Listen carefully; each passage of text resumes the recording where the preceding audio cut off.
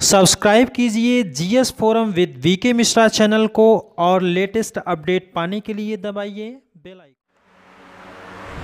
जय हिंद दोस्तों, मैं वीके मिश्रा आज लेकर आया हूँ आपके लिए समय का निर्धारण। हम लोग सामान्य भूगोल को पढ़ रहे थे और उस सामान्य भूगोल में अक्षांश और देशांतर रेखाओं की बात हम लोगों ने कर लिया है। आज हम लोगों को समझना है कि आखिर पृथ्वी पर समय का निर्धारण कैसे होता है। मैंने आपको लास्ट वीडियो में बताया था, जब देशांतर रेखाएँ आपको बताया तो उस समय आपसे ये बात ज़रूर मैंने बताई थी कि यहाँ पर आपको ध्यान ये रखना है कि इन्हीं देशांतर रेखाओं के सहारे हम समय का निर्धारण करते हैं। तो सबसे पहले आप यहाँ देख लीजिए कि समय के निर्धारण के लिए हमारे पास कुल दो विधियाँ हैं। एक विधि है स्थानीय समय और दूसरा है मानक समय। तो स्थानीय समय का जो निर्धारण हम लोग करते हैं, वो सूर्य की लंबवत किरणों के आधार पर करते हैं। जैसे कि आप अगर देखें तो पूर्वजों के द्वारा हमारे इस विधि का प्रयोग बहुत समय से किया जा रहा है। वो लोग क्या करते थे कि किसी घर की या किसी पेड़ की परछाई को देखकर ये बता देते थे कि इस समय आखिर वास्तव में समय कितना हो रहा है। तो उसी का यहाँ पर आपको ज़िक्र किया गया है। तो सूर्य की अगर लंबवत किरणें हमारे सर पर पड़ें और उससे बनने वाली जो परछाई है, उसकी लंबाई बिल्कुल शून्य हो जाए तब हम कहेंगे कि यहाँ पर दोपहर का 12 बजा हुआ है। वर्तमान में हम लोग पढ़ने लिखने के संदर्भ में इसकी चर्चा नहीं करते हैं। तो हम लोग बात करेंगे किसकी? मानक समय की। अब मानक समय में भी हम लोग यहाँ पर दो चीज़ें पढ़ेंगे। एक आपको रहेगा कि विश्व का मानक समय कैसे निर्धारित किया जाएगा और दूसरा होगा कि भारत का मानक समय कैसे हम लोग डिसाइड करेंगे। तो अगर यहाँ पर देखें तो विश्व के मानक समय के लिए देशांतर रेखाओं के आधार पर ही किया गया है। और दूसरी चीज़ क्या है कि पृथ्वी के घूर्णन के आधार पर आप जानते हैं कि पृथ्वी का जो बिंदु सूर्य के सामने है, उसको हम कहते हैं कि ये अधः सौर बिंदु है या सब पोलर पॉइंट कहलाता है। अब इसके देशांतर का जो प्रत्येक बिंदु है वो सूर्य के सामने से होकर के गुजरेगा। एग्ज़ाम्पल के तौर पर अगर मैं आपसे बात करूँ कि अगर यहाँ पर सूर्य चमक रहा है और इसके ठीक सामने कोई देशांतर है तो उस देशांतर के प्रत्येक बिंदु पर सूर्य की लंबवत किरणें पड़ेंगी। लेकिन पृथ्वी का जो बिंदु सूर्य के सामने ठीक ठीक होगा, उसे हम कहते हैं अधः सौर बिंदु। अब इसी के आधार पर हमको पूरा का पूरा ये मैटर क्लियर करना है। तो अब यहाँ पर अगर आप देखें तो हमारी जो पृथ्वी है, ये पूरा एक राउंड घूमने में कुल 24 घंटे का समय लेती है।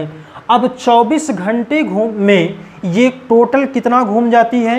360 डिग्री घूम जाती है। तो 24 घंटे में कितना हुआ? 360 डिग्री। अब एक घंटे में कितना हो जाएगा? तो 360 बटे 24 करेंगे तो मिलेगा आपको कितना? 15 डिग्री। अब 15 डिग्री, यानी एक घंटे बराबर कितना हमको मिल गया? 15 डिग्री। अब घंटे को हम क्या लिख देंगे? एक घंटे को हम 60 मिनट लिख सकते हैं। तो 60 मिनट बराबर कितना हो गया? 15 डिग्री। अब हमको चाहिए एक डिग्री बराबर कितना होगा? तो एक डिग्री बराबर 60 मिनट बटे 15 डिग्री हो जाएगा। अब इस तरह से अगर निकालेंगे तो एक डिग्री बराबर चार मिनट, यानी कि जो हमारी ये अर्थ है, ये जब एक डिग्री देशांतर घूमेगी तो कुल चार मिनट का अंतर आ जाएगा। टोटल कितना होगा? 24 घंटे में घूमेगी और 24 घंटे में घूमेगी तो कुल ये 360 डिग्री देशांतर रेखाओं को पार कर जाती है। अब ये हो गया आपका मानक समय, ये आपको ध्यान में रखना है। कि एक डिग्री अगर घूमना है तो चार मिनट का समय लगेगा या इसको भी ध्यान में रखिएगा कि चार मिनट अगर घूमेगी तो एक डिग्री देशांतर रेखा को ये पार कर जाएगी। अब दूसरी चीज़ जो आपको आती है कि कैसे हम इसका निर्धारण बताया था कि वर्ष अठारह सौ चौरासी में ही वॉशिंगटन डीसी में एक सम्मेलन किया गया और उसी सम्मेलन के द्वारा ज़ीरो डिग्री देशांतर रेखा को ग्रीनविच मीन टाइम बताया गया। यानी कि यहीं से सभी देशांतर रेखाओं की हम लोग गणना करेंगे। इसीलिए हमने इसको क्या मान लिया था? ज़ीरो डिग्री देशांतर रेखा या इसी को हमने अंतर्राष्ट्रीय समय रेखा कहा था या ग्रीनविच मीन टाइम कहा था। अब इसी रेखा के द्वारा हम लोगों ने अलग अलग दो गोलार्धों का भी निर्धारण किया था। जैसे कि अगर ये ज़ीरो डिग्री देशांतर रेखा है तो इसके इधर वाला क्या कहलाया था? ये पूर्वी गोलार्ध था और इसको हमने क्या कहा था कि ये पश्चिमी गोलार्ध है तो पूर्वी और पश्चिमी गोलार्ध में। अब आप जानते हैं कि सूर्य किधर से अस्त होता है और किधर से उगता है? तो यहाँ पर आप जानते हैं कि सूर्य जो है, वो हमें पूरब की तरफ़ उगता हुआ दिखाई देता है, क्योंकि पृथ्वी हमारी जो है, वो पश्चिम से पूरब की तरफ़ मूव करती है। तो जैसे जैसे ये मूव करने लगेगी वैसे वैसे क्या होगा? इसका कोई न कोई एक भाग क्या होगा कि इसके सूर्य के सम्मुख पड़ने लगेगा, और सूर्य के सम्मुख जब पड़ेगा तो इस बात से ये कन्फर्म होने लगता है कि अब दिन हो रहा है और जो भाग इसके पीछे जाने लगता है, वो क्या होता है कि वहाँ पर रात होने लगती है। तो दिन और रात की घटना भी यही पर ऐसे ही होती है। सूर्य का, सूर्य के सामने जो भाग पृथ्वी का पड़ेगा वहाँ पर दिन और जो पीछे चलता जाएगा उसको हम रात्रि कहते हैं। सेम वही कंडीशन यहाँ पर भी है। यहाँ पर आपको एक ध्यान देना है कि अगर हम ज़ीरो डिग्री देशांतर रेखा से पूरब की तरफ़ वाले इस गोलार्ध की बात करेंगे तो यहाँ पर आपको समय हमेशा क्या होगा? बढ़ा हुआ प्रतीत होगा, बढ़ा हुआ माना जाएगा। और अगर हम लोग पश्चिमी गोलार्ध की बात करें तो यहाँ पर समय क्या होता है? नेगेटिव होता है, और यहाँ पर समय क्या होता है?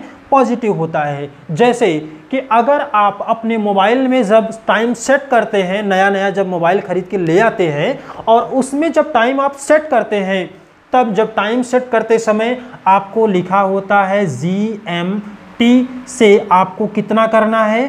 प्लस पाँच घंटे तीस मिनट आपको टाइम बढ़ाकर करना होता है। यानी कि अभी यहाँ पर सूर्य की किरणें पड़ चुकी हैं, समय यहाँ प्लस में चल रहा है और अभी यहाँ समय माइनस में चल रहा है। यानी कि अगर यहाँ पर सूर्योदय हो चुका है तो अभी यहाँ पर सूर्योदय होना बाकी है और यहाँ पर अभी क्या है? रात्रि का समय चल रहा है। तो इस तरह से पूर्वी गोलार्ध वाले क्या करते हैं?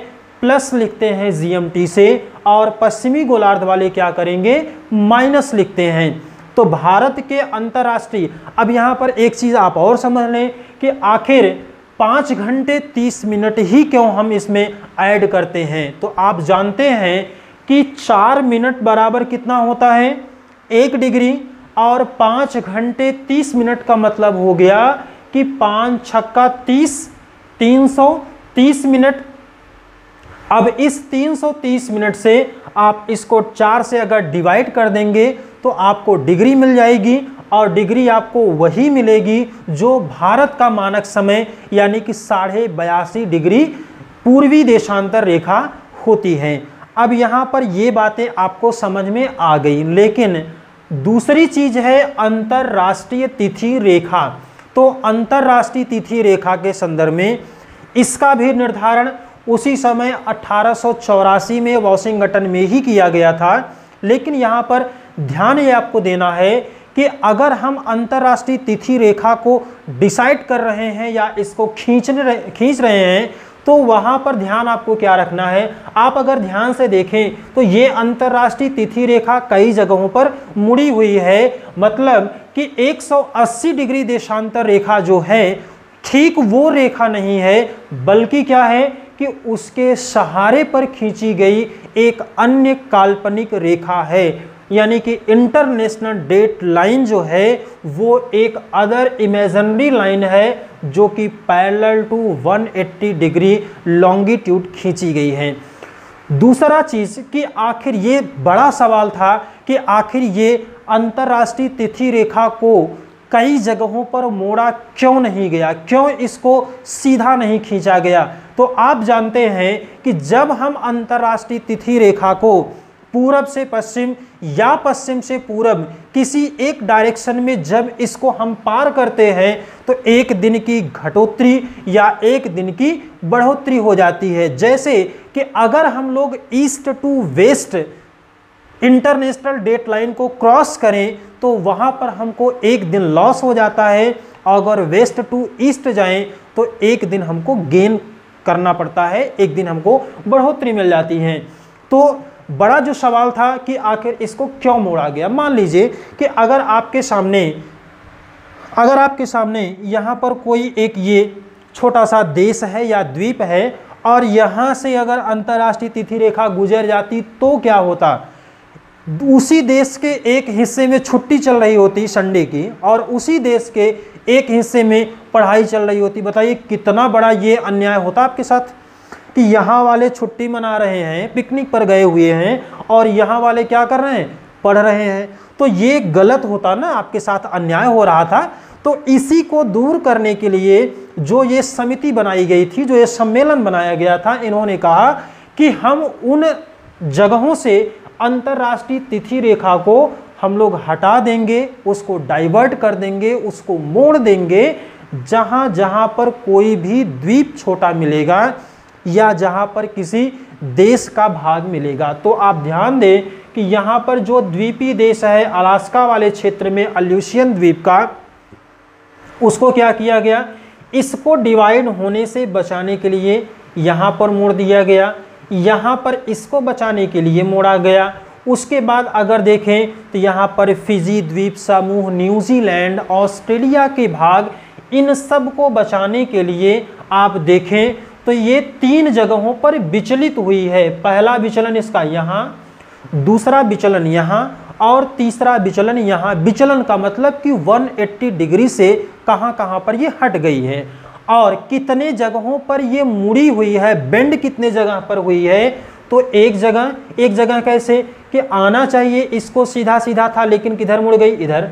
तो दूसरा जगह यहाँ, तीसरा ये, चौथा ये, पाँचवा ये, छठवां फिर उसके बाद सातवां और ये आठवां। जो डॉट लाइन आप देख रहे हैं, वास्तव में यहाँ से होकर इसको गुजरना चाहिए था। जैसे कि इसको आप कॉपी में जब बना लेंगे, तब आपको ये बेहतर तरीके से पता हो जाएगा कहाँ कहाँ पर ये कैसे कैसे डाइवर्ट हो रही है।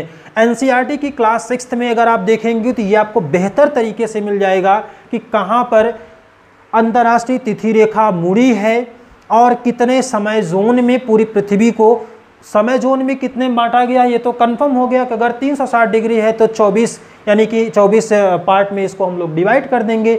जिस देश का देशांतरी विस्तार ज़्यादा होगा, वहाँ पर समय जोन भी ज़्यादा होंगे।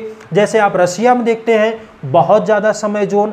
अमेरिका में देखें, अलास्का में देखें तो जिन देशों का देशांतरी विस्तार लॉन्गिट्यूडनल एक्सटेंशन ज़्यादा होगा, वहाँ पर समय जोन की संख्या भी ज़्यादा हो जाएगी।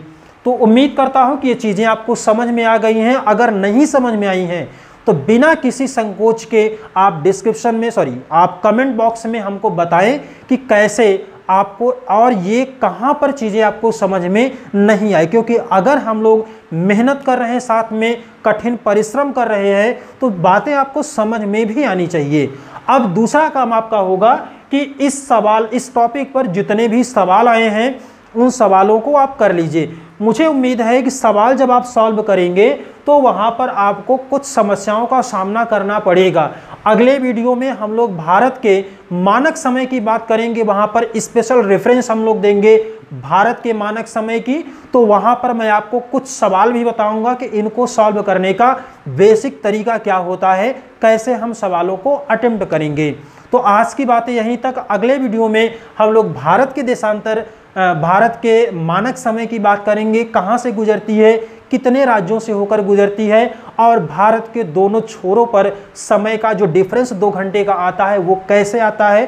तो इन्हीं सब बातों को लेकर हम लोग अगले वीडियो में इसकी चर्चा करेंगे। और अगर वीडियो आपको बहुत अच्छा लग रहा है तो आप इसको लाइक करें। और अगर वीडियो ख़राब लग रहा है तो आप इसको डिसलाइक ज़रूर कर दें। क्योंकि हमें ये पता चलता रहेगा कि मैं अच्छा कर रहा हूँ या बुरा कर रहा हूँ। तो अगले वीडियो में फिर से मुलाकात होगी। तब तक के लिए जय हिंद, वंदे मातरम।